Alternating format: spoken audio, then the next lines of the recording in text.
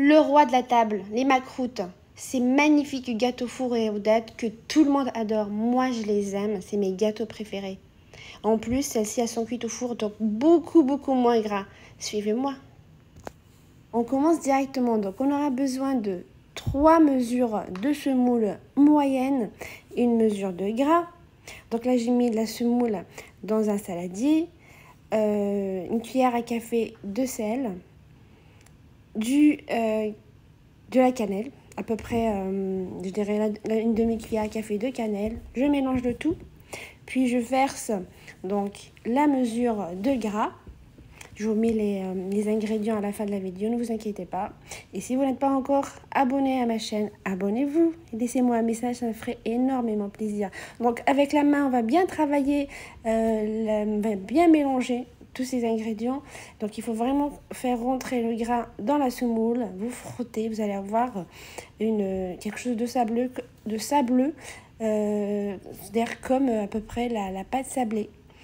On mélange, donc là je vais ramasser la pâte avec un petit peu de fleur d'oranger. La fleur d'oranger, je ne peux pas vous donner vraiment les ingrédients, euh, la mesure exacte. Donc on rajoute vraiment petit à petit. Là, on, rajoute juste un petit peu, à peu près, je dirais 3 cuillères à soupe, 4 cuillères à soupe de fleur d'oranger.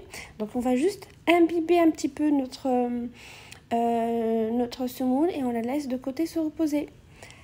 Pendant ce temps-là, je vais prendre deux mesures de, euh, date, de pâte de date, à laquelle je vais rajouter une cuillère à café de beurre ou de margarine, un petit peu de cannelle,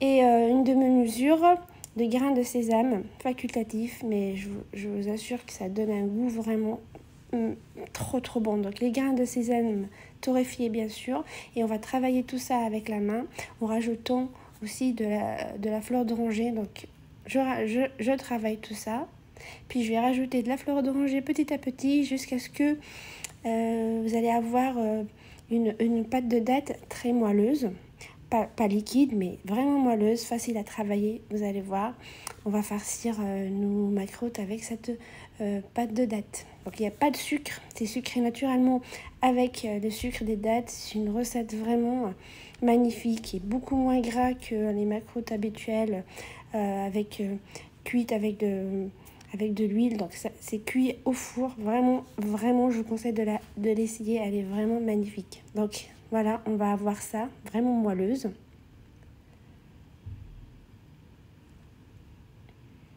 Donc là, je reviens à ma semoule, à ma pâte.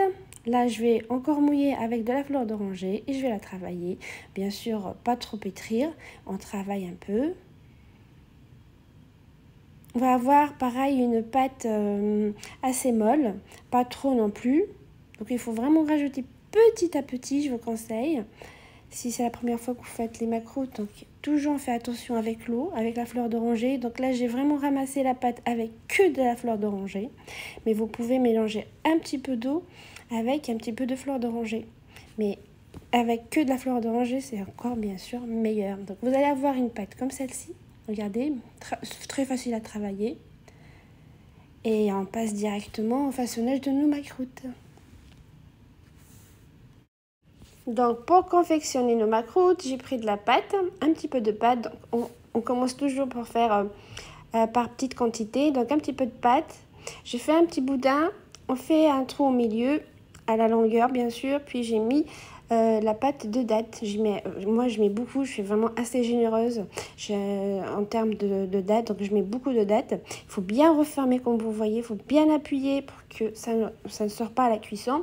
Et euh, vous retournez votre pâte et vous commencez à appuyer et puis à enrouler votre, votre pâte pour que, pour que ça s'allonge. Donc la hauteur ça va être à peu près de 3-4 cm on va dire.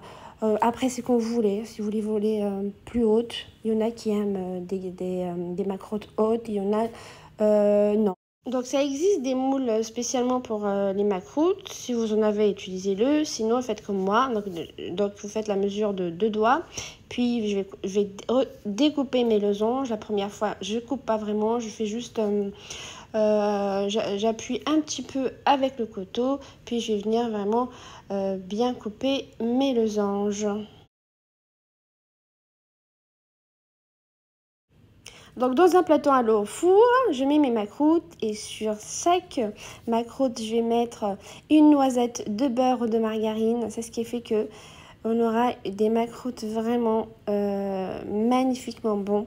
C'est mon secret donc que je vous révèle à vous. J'espère que euh, vous allez me laisser un message pour me remercier.